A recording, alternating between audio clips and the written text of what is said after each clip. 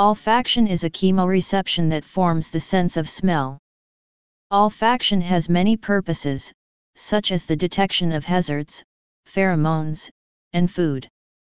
It integrates with other senses to form the sense of flavor. Olfaction occurs when odorants bind to specific sites on olfactory receptors located in the nasal cavity. Glomeruli aggregate signals from these receptors and transmit them to the olfactory bulb, where the sensory input will start to interact with parts of the brain responsible for smell identification, memory, and emotion.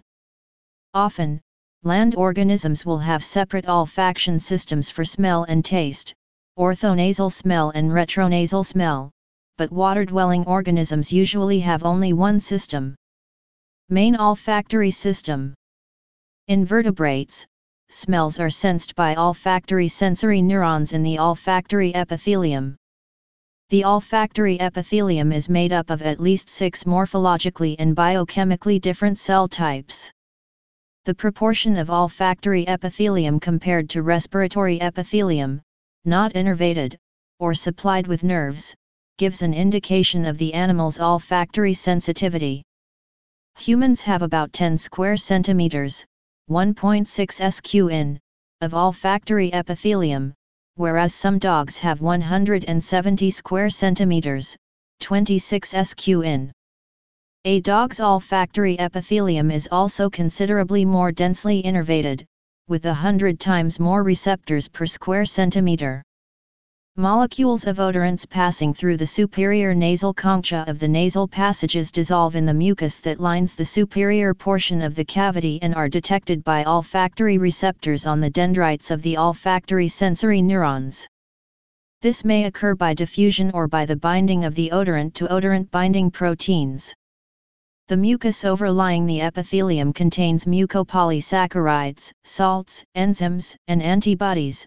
These are highly important, as the olfactory neurons provide a direct passage for infection to pass to the brain. This mucus acts as a solvent for odor molecules, flows constantly, and is replaced approximately every 10 minutes. In insects, smells are sensed by olfactory sensory neurons in the chemosensory sensilla, which are present in insect antenna, palps, and tarsa, but also on other parts of the insect body. Odorants penetrate into the cuticle pores of chemosensory sensilla and get in contact with insect odorant binding proteins, OBPs, or chemosensory proteins, CSPs, before activating the sensory neurons. Receptor neuron. The binding of the ligand, odor molecule or odorant, to the receptor leads to an action potential in the receptor neuron, via a second messenger pathway, depending on the organism. In mammals, the odorants stimulate adenylate cyclase to synthesize CAMP via a G protein called GOLF. CAMP, which is the second messenger here, opens a cyclic nucleotide gated ion channel, CNG, producing an influx of cations, largely Ca2 with some Na into the cell, slightly depolarizing it. The Ca2 in turn opens a Ca2 activated chloride channel, leading to efflux of Cl, further depolarizing the cell and triggering an action potential. Ca2 is then extruded through a sodium-calcium exchanger.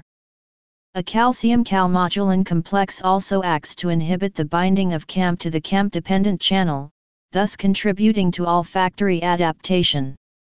This mechanism of transduction is somewhat unusual, in that CAMP works by directly binding to the ion channel rather than through activation of protein kinase A. It is similar to the transduction mechanism for photoreceptors, in which the second messenger CGMP works by directly binding to ion channels, suggesting that maybe one of these receptors was evolutionarily adapted into the other. There are also considerable similarities in the immediate processing of stimuli by lateral inhibition. Averaged activity of the receptor neurons can be measured in several ways. In vertebrates, responses to an odor can be measured by an electroolfactogram or through calcium imaging of receptor neuron terminals in the olfactory bulb. In insects, one can perform electroantennography or calcium imaging within the olfactory bulb. Olfactory bulb projections Olfactory sensory neurons project axons to the brain within the olfactory nerve, cranial nervi. These nerve fibers, lacking myelin sheaths, pass to the olfactory bulb of the brain through perforations in the cribriform plate, which in turn projects olfactory information to the olfactory cortex and other areas. The axons from the olfactory receptors converge in the outer layer of the olfactory bulb within small, 50 micrometers in diameter, structures called glomeruli. Mitral cells, located in the inner layer of the olfactory bulb, form synapses with the axons of the sensory neurons within glomeruli and send the information about the odor to other parts of the olfactory system, where multiple signals may be processed to form a synthesized olfactory perception. A large degree of convergence occurs, with 25,000 axons synapsing on 25 or so mitral cells, and with each of these mitral cells projecting to multiple glomeruli. Mitral cells also project to periglomerular cells and granular cells that inhibit the mitral cells surrounding it, lateral inhibition. Granular cells also mediate inhibition and excitation of mitral cells through pathways from centrifugal fibers and the anterior olfactory nuclei. Neuromodulators like acetylcholine, serotonin, and norepinephrine all send axons to the olfactory bulb and have been implicated in gain modulation, pattern separation, and memory functions, respectively. The mitral cells leave the olfactory bulb in the lateral olfactory tract, which synapses on five major regions of the cerebrum, the anterior olfactory nucleus, the olfactory tubercle, the amygdala, the piriform cortex, and the entorhinal cortex. The anterior olfactory nucleus projects, via the anterior commissure, to the contralateral olfactory bulb, inhibiting it. The piriform cortex has two major divisions with anatomically distinct organizations and functions. The anterior piriform cortex, APC, appears to be better at determining the chemical structure of the odorant molecules, and the posterior piriform cortex, PPC, has a strong role in categorizing odors and assessing similarities between odors, e.g. minty, woody, and citrus are odors that can, despite being highly variant chemicals, be distinguished via the PPC in a concentration-independent manner. The piriform cortex projects to the medial dorsal nucleus of the thalamus, which then projects to the orbitofrontal cortex. The orbitofrontal cortex mediates conscious perception of the odor. The three-layered piriform cortex projects to a number of thalamic and hypothalamic nuclei, the hippocampus and amygdala and the orbitofrontal cortex, but its function is largely unknown. The entorhinal cortex projects to the amygdala and is involved in emotional and autonomic responses to odor. It also projects to the hippocampus and is involved in motivation and memory. Odor information is stored in long-term memory and has strong connections to emotional memory. This is possibly due to the olfactory system's close anatomical ties to the limbic system and hippocampus, areas of the brain that have long been known to be involved in emotion and place memory, respectively. Since any one receptor is responsive to various odorants, and there is a great deal of convergence at the level of the olfactory bulb, it may seem strange that human beings are able to distinguish so many different odors. It seems that a highly complex form of processing must be occurring, however, as it can be shown that, while many neurons in the olfactory bulb, and even the piriform cortex and amygdala, are responsive to many different odors, half the neurons in the orbitofrontal cortex are responsive to only one odor, and the rest to only a few. It has been shown through microelectrode studies that each individual odor gives a particular spatial map of excitation in the olfactory bulb. It is possible that the brain is able to distinguish specific odors through spatial encoding, but temporal coding must also be taken into account. Over time, the spatial maps change, even for one particular odor, and the brain must be able to process these details as well. Inputs from the two nostrils have separate inputs to the brain, with the result that, when each nostril takes up a different odorant, a person may experience perceptual rivalry in the olfactory sense akin to that of binocular rivalry. In insects, smells are sensed by sensilla located on the antenna and maxillary palp and first processed by the antennal lobe, analogous to the olfactory bulb, and next by the mushroom bodies and lateral horn. Accessory olfactory system Many animals, including most mammals and reptiles, but not humans, have two distinct and segregated olfactory systems, a main olfactory system, which detects volatile stimuli, and an accessory olfactory system, which detects fluid phase stimuli. Behavioral evidence suggests that these fluid phase stimuli often function as pheromones, although pheromones can also be detected by the main olfactory system. In the accessory olfactory system, stimuli are detected by the vomeronasal organ, located in the vomer, between the nose and the mouth.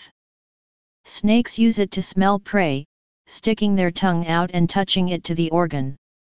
Some mammals make a facial expression called flehmen to direct stimuli to this organ.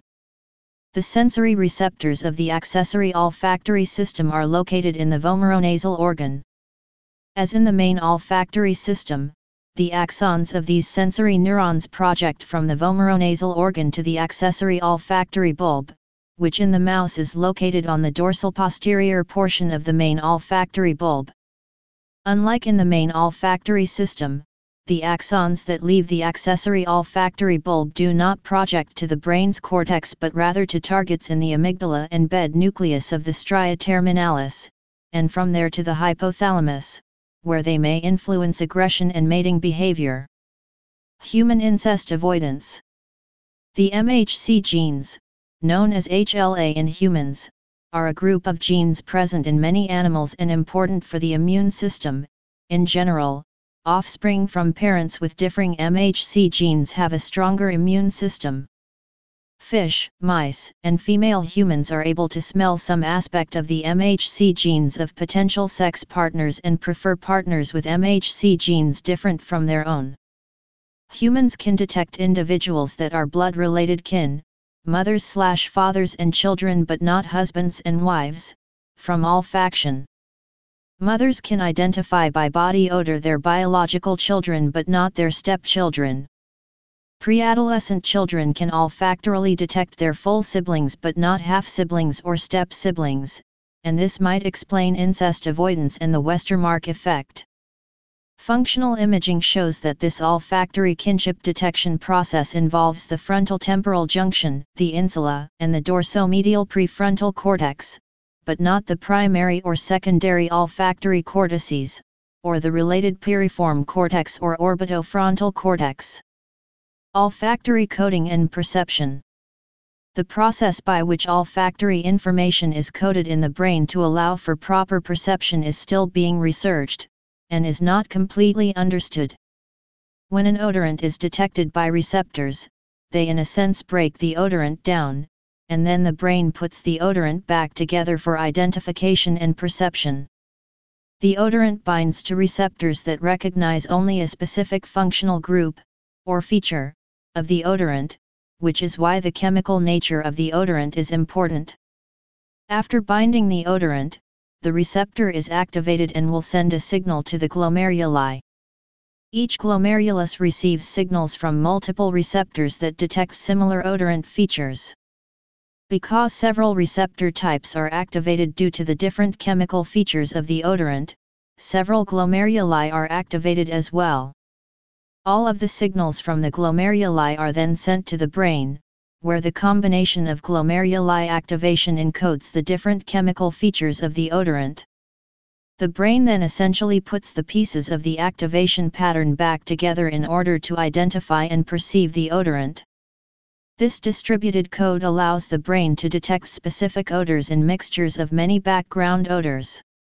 It is a general idea that the layout of brain structures corresponds to physical features of stimuli, called topographic coding, and similar analogies have been made in olfaction with concepts such as a layout corresponding to chemical features, called chemotopy, or perceptual features. While chemotopy remains a highly controversial concept, evidence exists for perceptual information implemented in the spatial dimensions of olfactory networks. Although conventional wisdom and lay literature, based on impressionistic findings in the 1920s, have long presented human olfaction as capable of distinguishing between roughly 10,000 unique odors, recent research has suggested that the average individual is capable of distinguishing over 1 trillion unique odors. Researchers in the most recent study, which tested the psychophysical responses to combinations of over 128 unique odor molecules with combinations composed of up to 30 different component molecules, noted that this estimate is conservative and that some subjects of their research might be capable of deciphering between a thousand trillion odorants, adding that their worst performer could probably still distinguish between 80 million scents. Authors of the study concluded, this is far more than previous estimates of distinguishable olfactory stimuli. It demonstrates that the human olfactory system, with its hundreds of different olfactory receptors, far outperforms the other senses in the number of physically different stimuli it can discriminate. However, it was also noted by the authors that the ability to distinguish between smells is not analogous to being able to consistently identify them, and that subjects were not typically capable of identifying individual odor stimulants from within the odors the researchers had prepared from multiple odor molecules. In November 2014 the study was strongly criticized by Caltech scientist Marcus Meister, who wrote that the study's extravagant claims are based on errors of mathematical logic. The logic of his paper has in turn been criticized by the authors of the original paper. Genetics Different people smell different odors, and most of these differences are caused by genetic differences. Although odorant receptor genes make up one of the largest gene families in the human genome, only a handful of genes have been linked conclusively to particular smells. For instance, the odorant receptor OR5A1 and its genetic variants, alleles, are responsible for our ability, or failure, to smell beta-ionone, a key aroma in foods and beverages. Similarly, the odorant receptor OR2J3 is associated with the ability to detect the grassy odor, cis-3-hexen-1-OL. The preference, or dislike, of cilantro, coriander, has been linked to the olfactory receptor OR6A2. Interactions with other senses. Olfaction and flavor. Flavor perception is an aggregation of auditory, taste, haptic, and smell sensory information. Retronasal smell plays the biggest role in the sensation of flavor. During the process of mastication, the tongue manipulates food to release odorants. These odorants enter the nasal cavity during exhalation. The olfaction of food has the sensation of being in the mouth because of CO activation of the motor cortex and olfactory epithelium during mastication.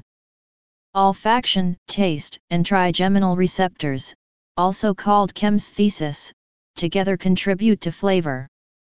The human tongue can distinguish only among five distinct qualities of taste, while the nose can distinguish among hundreds of substances, even in minute quantities.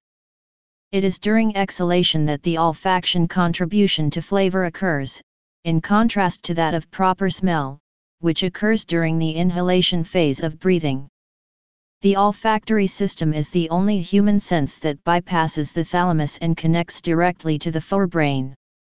Audition Olfaction and sound information has been shown to converge in the olfactory tubercles of rodents. This neural convergence is proposed to give rise to a perception termed smound. Whereas a flavor results from interactions between smell and taste, a smound may result from interactions between smell and sound. Disorders The following are disorders of olfaction. Anosmia inability to smell. Dysosmia things smell different from memory or expectation. Hyperosmia an abnormally acute sense of smell. Hyposmia decreased ability to smell. Olfactory reference syndrome psychological disorder that causes the patient to imagine he or she has strong body odor. Parosmia things smell worse than they should. Phantosmia hallucinated smell, often unpleasant in nature. Quantification in industry. Scientists have devised methods for quantifying the intensity of odors, in particular for the purpose of analyzing unpleasant or objectionable odors released by an industrial source into a community. Since the 1800s industrial countries have encountered incidents where proximity of an industrial source or landfill produced adverse reactions among nearby residents regarding airborne odor. The basic theory of odor analysis is to measure what extent of dilution with pure air is required before the sample in question is rendered indistinguishable from the pure or reference standard. Since each person perceives odor differently, an odor panel composed of several different people is assembled, each sniffing the same sample of diluted specimen air. A field olfactometer can be utilized to determine the magnitude of an odor. Many air management districts in the U.S. have numerical standards of acceptability for the intensity of odor that is allowed to cross into a residential property. For example, the Bay Area Air Quality Management District has applied its standard in regulating numerous industries, landfills, and sewage treatment plants. Example applications this district has engaged are the San Mateo, California, wastewater treatment plant, the Shoreline Amphitheater in Mountain View, California, and the IT Corporation Waste Ponds, Martinez, California. In plants and animals. The tendrils of plants are especially sensitive to airborne volatile organic compounds. Parasites such as dodder make use of this in locating their preferred hosts and locking onto them. The emission of volatile compounds is detected when foliage is browsed by animals. Threatened plants are then able to take defensive chemical measures, such as moving tannin compounds to their foliage. See plant perception. The importance and sensitivity of smell varies among different organisms. Most mammals have a good sense of smell, whereas most birds do not, except the tube noses, e.g., petrels and albatrosses, certain species of vultures, and the kiwis. Among mammals, it is well developed in the carnivores and ungulates, which must always be aware of each other, and in those that smell for their food, such as moles. Having a strong sense of smell is referred to as macrosmatic. Figures suggesting greater or lesser sensitivity in various species reflect experimental findings from the reactions of animals exposed to aromas in known extreme dilutions. These are, therefore, based on perceptions by these animals, rather than mere nasal function. That is, the brain's smell recognizing centers must react to the stimulus detected for the animal to be said to show a response to the smell in question. It is estimated that dogs in general have an olfactory sense approximately 10,000 to 100,000 times more acute than a human's. This does not mean they are overwhelmed by smells our noses can detect, rather, it means they can discern a molecular presence when it is in much greater dilution in the carrier, air. Scenthounds as a group can smell 1 to 10 million times more acutely than a human, and bloodhounds, which have the keenest sense of smell of any dogs, have noses 10 to 100 million times more sensitive than a human's. They were bred for the specific purpose of tracking humans, and can detect a scent trail a few days old. The second most sensitive nose is possessed by the basset hound, which was bred to track and hunt rabbits and other small animals. Bears, such as the silvertip grizzly found in parts of North America, have a sense of smell seven times stronger than that of the bloodhound, essential for locating food underground. Using their elongated claws, bears dig deep trenches in search of burrowing animals and nests as well as roots, bulbs, and insects. Bears can detect the scent of food from up to 18 miles away, because of their immense size, they often scavenge new kills, driving away the predators, including packs of wolves and human hunters, in the process. The sense of smell is less developed in the catarrhine primates, and non-existent in cetaceans, which compensate with a well-developed sense of taste. In some strepsirrhines, such as the red-bellied lemur, scent glands occur atop the head. In many species, olfaction is highly tuned to pheromones. A male silkworm moth, for example, can sense a single molecule of bombycol. Fish, too, have a well-developed sense of smell, even though they inhabit an aquatic environment. Salmon utilize their sense of smell to identify and return to their home stream waters. Catfish use their sense of smell to identify other individual catfish and to maintain a social hierarchy. Many fishes use the sense of smell to identify mating partners or to alert to the presence of food. Insect olfactory system Inbreeding avoidance Since inbreeding is detrimental, it tends to be avoided. In the house mouse, the major urinary protein, MUP, gene cluster provides a highly polymorphic scent signal of genetic identity that appears to underlie kin recognition and inbreeding avoidance. Thus, there are fewer matings between mice sharing MUP haplotypes than would be expected if there were random mating. History Early scientific study of olfaction includes the extensive doctoral dissertation of Eleanor Gamble, published in 1898, which compared olfactory to other stimulus modalities, and implied that smell had a lower intensity discrimination. As the Epicurean and atomistic Roman philosopher Lucretius, 1st century BCE, speculated, different odors are attributed to different shapes and sizes of atoms, odor molecules in the modern understanding, that stimulate the olfactory organ. A modern demonstration of that theory was the cloning of olfactory receptor proteins by Linda B. Buck and Richard Axel, who were awarded the Nobel Prize in 2004, and subsequent pairing of odor molecules to specific receptor proteins. Each odor receptor molecule recognizes only a particular molecular feature or class of odor molecules. Mammals have about a thousand genes that code for odor reception. Of the genes that code for odor receptors, only a portion are functional. Humans have far fewer active odor receptor genes than other primates and other mammals. In mammals, each olfactory receptor neuron expresses only one functional odor receptor. Odor receptor nerve cells function like a key lock system, if the airborne molecules of a certain chemical can fit into the lock, the nerve cell will respond. There are, at present, a number of competing theories regarding the mechanism of odor coding and perception. According to the shape theory, each receptor detects a feature of the odor molecule. The weak shape theory, known as the odotope theory, suggests that different receptors detect only small pieces of molecules, and these minimal inputs are combined to form a larger olfactory perception, similar to the way visual perception is built up of smaller, information poor sensations, combined and refined to create a detailed overall perception. According to a new study, researchers have found that a functional relationship exists between molecular volume of odorants and the olfactory neural response. An alternative theory, the vibration theory proposed by Luca Turin, posits that odor receptors detect the frequencies of vibrations of odor molecules in the infrared range by quantum tunneling.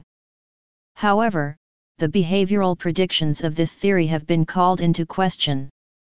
There is no theory yet that explains olfactory perception completely. Please subscribe and thanks for watching.